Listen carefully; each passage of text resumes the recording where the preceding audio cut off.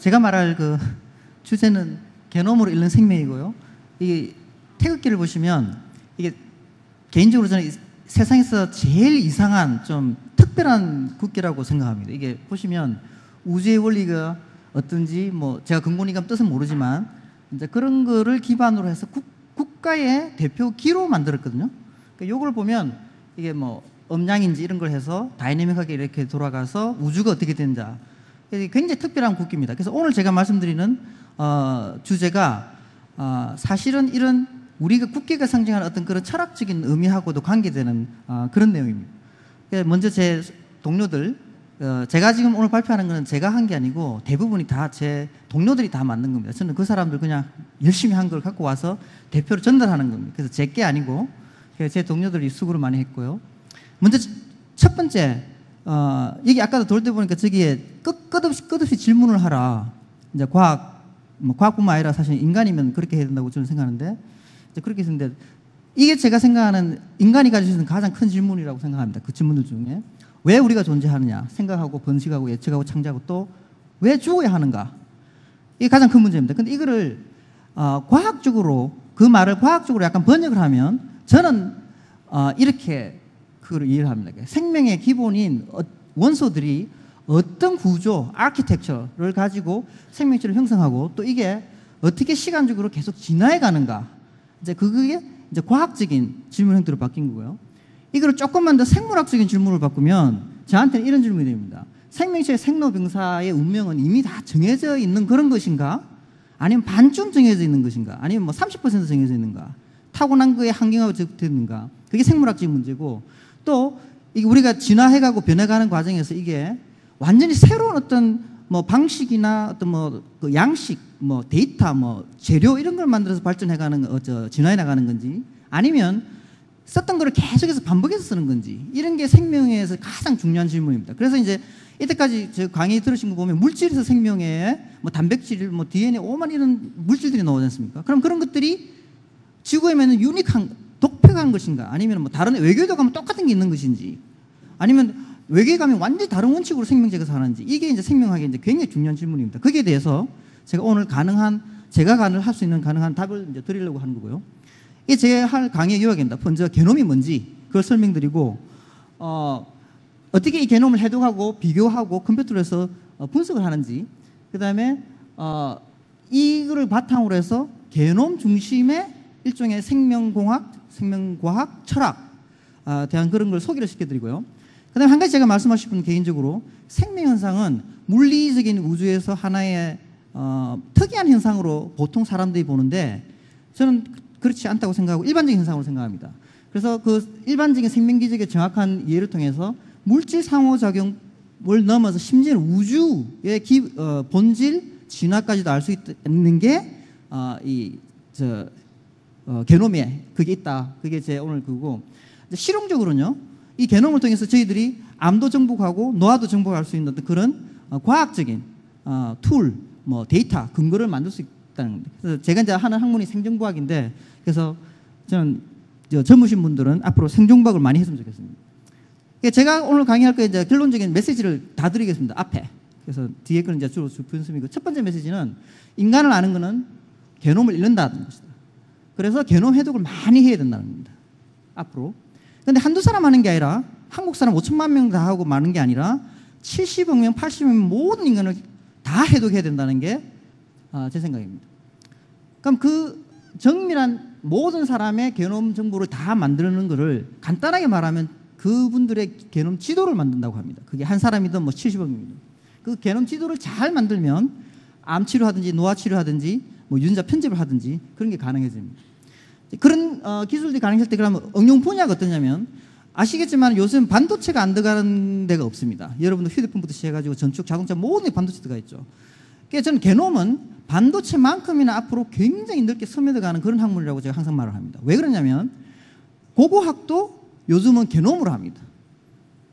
식당에 가시면 여러분의 그게 그거 이게 상해는 지 안 상해는지는 제일 정확한 방법은요. 진짜로 제일 정확한 궁극적인 방법은 그 안에 있는 모든 박테리아 개놈을 다 읽어버립니다. 그러면 살모넬라가 있는지 중독되는지 다 알고요. 그 다음에 감기 바이러스가 어떤 타입인지 뭔지 만약 여러분이 여기 이제 환기구인데 환기구에다가 달아놓고 실시간으로 게놈을 다 읽어버리면 중국에서 왔는지 말레이시아에서 왔는지 홍콩 뭐 감기인지 다 알 수 있고요. 그 다음에 조류 독감인지 아닌지 뭐 그런 거 알 수 있고 자동차에도 나중에 게놈 해독이 들어갈 겁니다. 그럼 자동차에서 real-time 실시간으로 다 읽어서 아 이거는 이제 공기가 나쁘다. 요새 지금 중국에서 온 박테리아가 막 이게 차에 막 걸리네 안 걸리네. 그 다음에 양치질 하시면 양치질 해가지고 충치가 얼마나 지금 뭐 생기는지 안 생기는지 잇몸이 나쁠지 좋을지 다 알 수 있고요. 결혼할 때 결혼 검사하고 적성 검사, 취직할 때 검사 검사하고 성격 검사하고 심지어는요. 미국 FBI나 CIA에서는 게놈 정보만 가지고 사람 얼굴을 결혼합니다. 우리나라도 합니다, 사실은. 그래서 포인트는 뭐냐면 헌정 조금만 가지고도 그거가 해독 게놈을 해독해 버리면 프런트에서 사진 올라오는 거죠. 그 다음에 농업 앞에는 모든 농업 그 어, 그 관련 그 생산성은 게놈을 잘 활용해서 편집을 하든지 해서 어, 생산성을 올리고 식품도 안전하게 하고 더 많이 하고 환경 모니터링. 요즘 뭐 기후 온난화가 한다는데 기후 온난화를 가장 잘할 수 있는 방법은 그 토양이나 공기 중에 있는 박테리아나 무슨 곰팡이 이런 거에 그 게놈 해독해 버리면 정확하게 온 어떤 종류의 지금 이게 향기 있는지 알 수 있고요. 의료는 당연하죠. 어, 치료하는 거. 그 다음에 화학 재료 이런 거 모든 게 게놈하고 관계됩니다. 그래서 이제 첫 번째 원칙부터 제가 이때까지 메시지 한 그거는 사실은 큰 얘기는 다 했고 이제는 좀 마음 편하게 그냥 들으시면 됩니다. 찍으시면 되는데 맨 먼저 그럼 생명이라는 게 뭐냐? 가장 기초적으로 우주가 어떻게 시작됐냐는데 140억 년 전에 만들어졌다는데 그럼 우주 탄생 전에는 뭐가 있었을까요? 그래서 보통 이제 물리학자들이 조그만 점 같은 게 있어가지고 이게 폭발을 했다고 그럽니다. 대폭발을 일으켜 가지고 이렇게 모양이 나오고 이게 지금 어 보면 팽창을 계속하고 있고 뭐 이렇다고 말을 합니다. 그러면 이 조그만 그 점 아까 보신 거 그거 전에는 뭐였는가 한번 가만 생각해 보세요. 그냥 혼자서 생각해 보세요. 그러면 저도 그 생각해 봤는데 가만 보니까 그게 문제 그게 아무 의미가 없습니다. 그러니까 폭발하기 전에 뭐 10조 년이 있었던 뭐 10만 년 조가 뭐 10, 뭐 곱하기 뭐에 뭐 조가 년이 있었던 뭐 영원한 시간이 있었던 중요하지 않고 왜냐하면 그때는 완전히 얼어진 상태이기 때문에 순간 뭐가 탁 탁 생기는 순간 모든 게 다 이제 의미를 갖기 시작하는 거죠. 그러니까 얼마 오래 전에 뭐 뭐 저 우주가 존재했든 말든 그건 중요하지 않습니다. 지금 우리가 우주 자체가 존재한다는 그게 이제 의미가 있기 때문에 일단 그러면 저는 가정을 이렇게 합니다. 정보학자로서 그게 가장 시발점이 되는 스위치 시작되는 그 아까 말한 빅 폭발 같은 게 뭐였느냐 저는 스위치라고 생각합니다.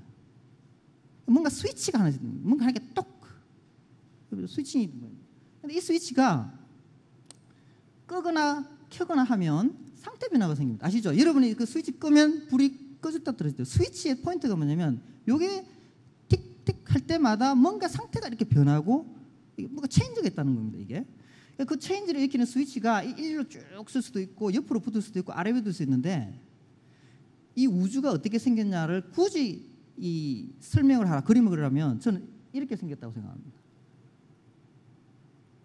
스위치가 있고요. 그 스위치 안에 또 스위치가 있고 그 안에 또 스위치가 있고 또 스위치가 있고 또 스위치가 있고 또 스위치가 있고 한참 갈 수 있는 이걸 영어로 프랙터를 그럽니다. 끊임없는 이 스위치들이 정보 처리를 하면서 이렇게 엮여져 있는 거죠. 그래서 우주가 그런 스위치 셋이라고 제가 가정을 하기 때문에 저는 생명이 뭐라 하면 정의는 간단합니다. 스위치 셋입니다. 그러니까 다르게 말하면 여러분들도 기분 나쁘실 수도 있겠지만 일종의 하나의 스위치의 셋입니다. 큰 복잡한 스위치의 세트입니다. 근데 그 스위치 세트 중에서 굉장히 중요한 포인트가 하나 있는데 그게 뭐냐면 앞과 뒤가 있다는 겁니다. 이 말이 뭐냐면 우리가 저 게놈이라든가 서열인데요. 서열 같은 게 있으면 그 앞에 A가 오냐, T가 오냐, G가 오냐에 따라서 여러분들이 행동이나 생긴 거가 달라질 수 있다는 겁니다. 순서가 중요합니다. 이 섞여버리면 의미가 없는데 시간도 마찬가지죠. 앞에 어떤 일이 벌어졌냐가 뒤에 그걸 결정하죠. 그래서 생명에서 가장 중요한 거는 이 존재하는 이 우주 속에 존재하는 그 다양한 어떤 그 뭐 스위치들이 있는데 앞과 뒤가 있는 이 스위치들의 그래서 이 스위치들을 그림으로 굳이 부르면 이런 식으로 회로를 합니다. 이걸 그게 생체 회로라 그러거든요. 뭐 이게 전자 회로지만 그 생체 회로가 있고 이 생체 회로의 가장 큰 특징이 뭐냐면 여기 박스가 보이시죠? 생명체에서 가장 큰 특징은 이 스위치라고 정보 처리하는 어떤 객체들이 있는데 박스로 돼 있다는 거예요. 이게 박스론입니다. 생명체의 박스론. 교과서는 안 놉니다. 제가 만든 말이라서. 찾아볼 필요는 없으시고요. 그래서 이제 세포와 우리는 박스다.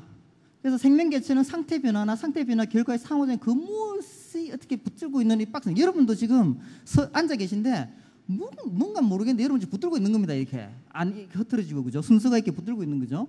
이게 세포고 이게 세포가 모이면 뭐 조직이라고 하면 티슈 이렇게 돼 있고 결국 이 생명들이 모이고 모이고 모이면 이런 박스들이 모이는데 그 박스들이 아까도 말씀드렸지만 끊임없이 프랙탈이라는 self-similarity라고 그러는데 자기하고 동질한 게 계속해서 반복되는 거예요. 끊임 끊임없이 반복되는 거예요. 이게 이제 대표적인 식물의 한 그 모습이거든요. 그러니까 생명의 서열들이 이렇게 끊임없는 반복을 해서 결국 어떤 구조를 만들어내고 그 구조를 우리가 이해함으로 해서 왜 암에 걸리는지, 왜 내가 60살 되면 죽어야 되는지 노화로 뭐 이런 걸 할 수 있습니다. 자, 그러면 먼저 이제 조금 더 깊이 들어가기 전에 도대체 그러면 세포가 있고 사람이 있고 DNA 있고 게놈인데 그게 뭐야? 도대체 머릿속에 내가 어떻게 이해야 되냐? 이것만 기억하시면 사실은 다 이해하는 겁니다. 아주 간단합니다. 여러분의 몸속에는 엄청나게 작은 눈에 보이는 DNA 이 서열들 진짜로 이 선입니다. 이 줄입니다. 줄. 그 실, 실이 있고요. 이 실들이 둘둘둘 말에 모여서 염색체라는 걸 만들고 이 염색체가 여러 개가 모이면 게놈 요게 됩니다. 요, 요런 식으로 되고 요런 것들이 세포 안에 요 안에 들어가면 세포 핵이 되고 요런 세포가 여러분을 이 세포 박스가 여러분들을 지금 붙잡고 있는 겁니다. 그러니까 여러분들은 한마디로 세포의 셋이죠. 이 세포 하나하나는 스위치이기도 하고요. 그리고 그게 이제 모여서 이 세포들이 모이면 조직이 되고 장기가 되고 뭐 몸통이 되고 이래가지고 하나의 생명체 되고 이 세, 사람들이 또 모이면 집단이 됩니다. population. 이 population 하나의 실질적으로 어, 유기적인 하나의 생명체입니다. 집단들. 한국인이라는 집단. 그 다음에 이 population 위에 올라가면 지구 전체도 하나의 거대한 박스입니다. 이게. 예, 지구를 이렇게 듣고 있죠. 이렇게 그 다음에 이 지구가 모여서 이제 어, 뭐 스타, 뭐 행성들 모이면 은하가 되고 그 다음에 이게 이때까지 뭐 보여준 우주의 모습이라고 그럽니다. 이게 박스. 그러니까 우주도 박스지 않습니까? 보십시오. 그래서 요 박스가 되고 이게 단위가 돼 있다는 거예요. 포인트는 작은 것부터 올라가면서 일정한 어떤 룰들을 가지고 법칙을 가지고 계속해서 청을 이루면서 이런 형태를 갖고 있다는 거예요. 거기에 어떤 원칙이 뭐냐가 오늘 제가 말씀드린 거고 거기서 생명이 굉장히 중요하다는 거예요. 이제 박스는 있는데 그 박스가 아, 그 다음에 이제 중요한 게 변한다라는 게 천년 전의 사람하고 지금 사람하고 다릅니다. 그 변하는데 그 변화가 어떻게 오냐면 우리나라 사람들 옛날에 뭐 이런 토, 목, 화 기운이 있어 서로 어떻게 빙빙 돌고 어쩌고 이렇게 식으로 말하는데 이건 뭐 서양이든 동양이든 뭐 어디든 이런 식의 어떤 상태를 유지하는 박스, 스위치들이 시간에 의해서 이렇게 뭔가 서로를 영향을 주면서 이렇게 변하는 아, 이걸 간단하게 말하면 진화라고 그럽니다. 다윈의 진화인 거죠. 그러니까 시간에 따라서 생명체가 뭔가 조금 조금씩 변해가는 걸 간단히 그냥 진화라고 그럽니다. 그리고 이게 이제 일반적으로 받아들입니다. 그래서 진화가 뭐냐면 어, 이제 진화에 관련해서 이제 그 여러분들이 하기 전에 이제 저 조금만 이제 그 진화 관련 이제 중요한 질문들을 먼저 드리면 요거 한번 그냥 생각해 보십시오. 이 생명 회로들이 있는데 전부 다 순서나 구조가 이미 결정돼 있는지, 그러니까 팔자가 이미 거 그런 건 건지, 아니면 반쯤만 정해져 있어 가지고 이게 좀 그런 건 건지, 아니면 새롭게 어떤 이 생명체나 구성품들이 완전히 창조가 되는 건지, 아니면 이미 같은 것에서 항상 조금 조금씩 변해서 오는 건지, 이게 수많은 사람들이 이걸 갖고 이제 몇백 년 동안 싸웠습니다. 그리고 지금은 다윈이 말하는 점진적으로 뭔가 조금 조금씩 조상으로도 변해왔다가 정설입니다. 이게 시간에 따라서 그죠? 박스들이 시간에 따라서 변하는데 점진적으로 변한다는 거죠. 그래서 이렇게 이제 박테리아나 이런 것부터 점점 점점 점진적으로 그러니까 여기서 갑자기 이렇게 되는 건 없다는 거고 아니면 이런 게 하늘에서 뚝 떨어지는 게 없다는 겁니다. 그게 포인트입니다. 자, 그럼 이런 거 밑에 들어가는 어떤 그 정보 처리 그런 관련 모든 그 원칙들이 뭔가가 오늘 이제 제가 설명한 건데 먼저 이제 이거는 지난데 약간 전문적인 거지만 다연 진화가 뭐냐면 자연 선택이 될 수 있는 현질을 발현하는 유전자의 무작위로 발생하는 변이들이 생김으로 해서 조상에 있는 생명체가 시간상 변화해 간다. 이게 이제 생물학의 거의 뭐 유일하다시피 하는 원칙이고요. 자, 이거의 핵심 중의 핵심이 게놈입니다. 그래서 핵 게놈의 본질은 아까 조금 전에 말한 그 진화의 주체가 되는 정보 덩어리입니다.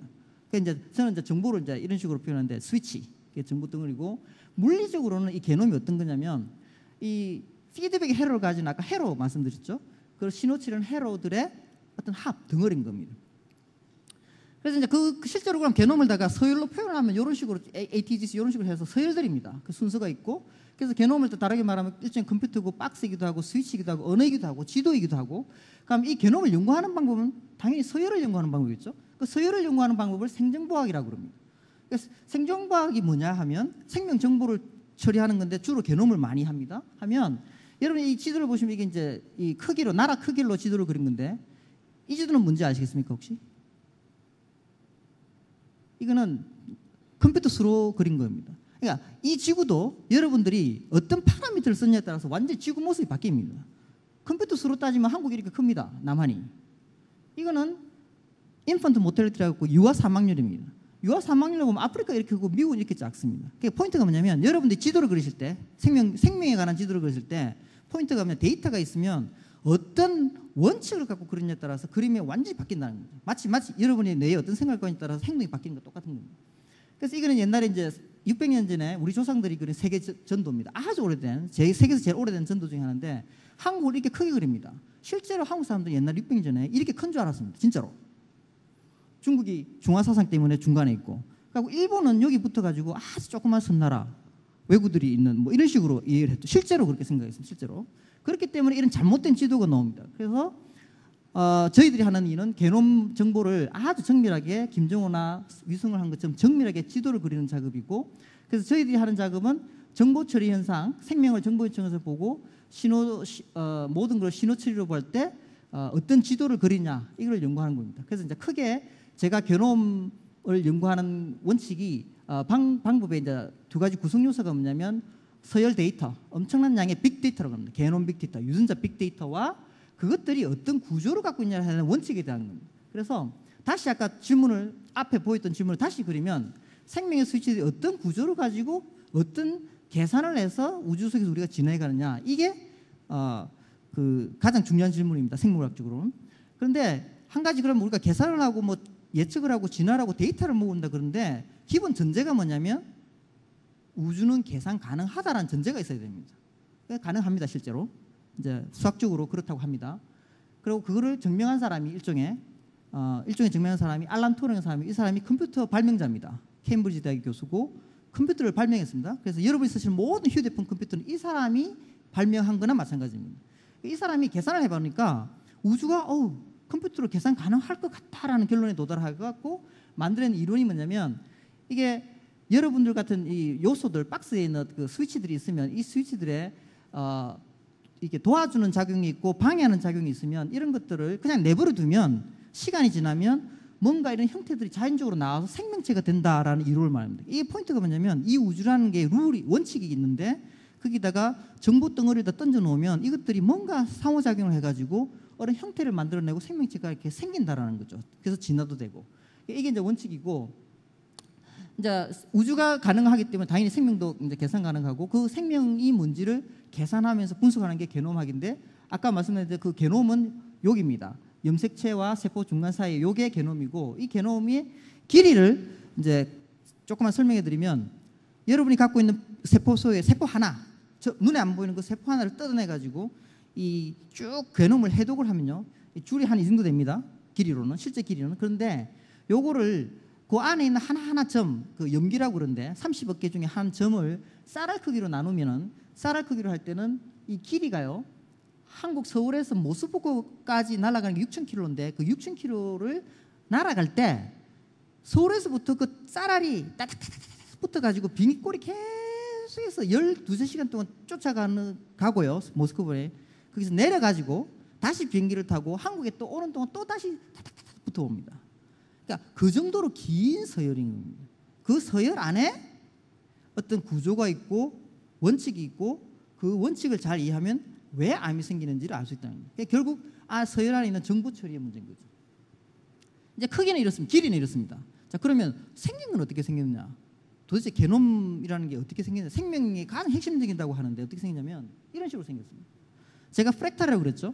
실제로 게놈은 3차원 구조를 갖고 있고 이런 식으로 그걸 펴서 보면 이런 식으로 서로 상호작용하는 이게 굉장히 일정하게 이게 패턴들을 갖고 있습니다.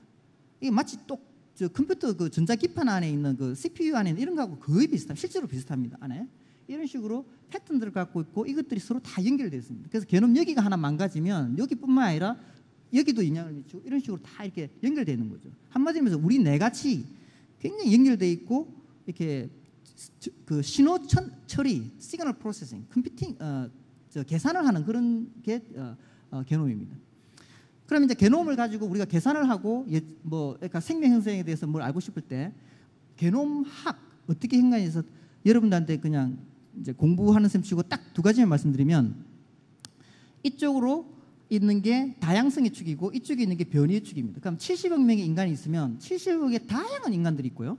그 각각의 한 사람은 게놈을 갖고 있습니다. 그러면 각각이 갖고 있는 게놈 중에 한국 사람이면 눈 색깔이 이런 거 저런 거 요런 돌연변이 저런 돌연변이 갖고 있고 이런 사람이 70억 중에 어떤 사람은 흑인, 백인, 동양인 이렇게 되겠죠.